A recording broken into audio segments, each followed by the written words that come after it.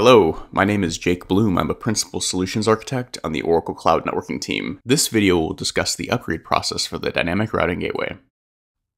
Topics covered in this video include the DRG enhancements, a console walkthrough of the upgrade process, frequently asked questions for the upgrade, as well as references to look at after this video. One crucial enhancement to the upgraded DRG is the ability to centralize routing through the DRG. As you can see in the diagram, there are three VCNs attached directly to the Dynamic Routing Gateway. In previous architectures, a VCN would be attached to another VCN through an LPG, as opposed to being directly connected through the DRG. Another enhancement is advanced routing scenarios for the DRG. After the upgrade, you can take advantage of advanced routing scenarios such as hub spoke VCNs, as shown in the diagram on the right hand side.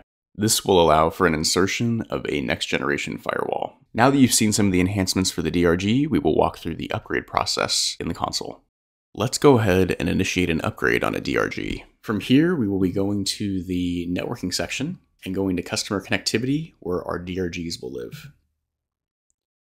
Once we've gone to our dynamic routing gateways, we'll select the compartment where the DRG lives and then click on the DRG that we plan on doing the upgrade for.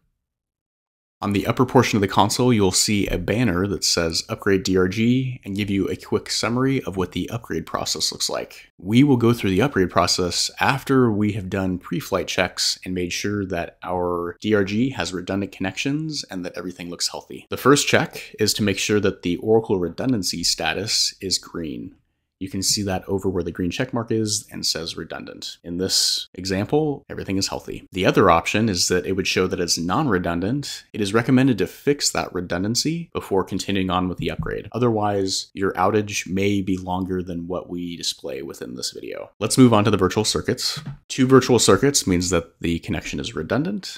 An additional recommended step is to go onto the peer router and verify that the routes advertised and received are the same on both of these circuits. We'll move on to the remote peering connection. In this example, I have the Toronto region that is connected via an RPC. Now that we've done our pre-flight checks, we'll go ahead and click Upgrade on the DRG and then click Upgrade DRG. If you follow the virtual circuit screen, you'll notice that the FastConnects will change into a provisioning status during the upgrade. Now that the upgrade is complete, let's take a look at the results. I have 331 packets transmitted and 325 received. So you could say that we had about a six second outage for the FastConnects. If we look at the uh, remote peering connection, you can see that I've sent 350 with 0% loss. And if we stop the ping, then I did not receive any loss over the remote peering connection. I will quickly display some frequently asked questions regarding the upgrade process that may not have been answered in this video. If you have any questions, feel free to pause now and take a look at the additional questions that are common during the upgrade process.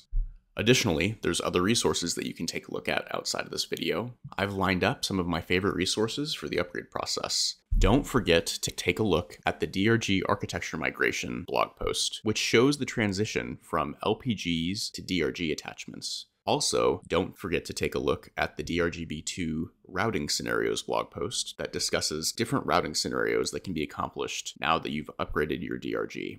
Thank you for watching. I hope that you found this video on upgrading the DRG insightful.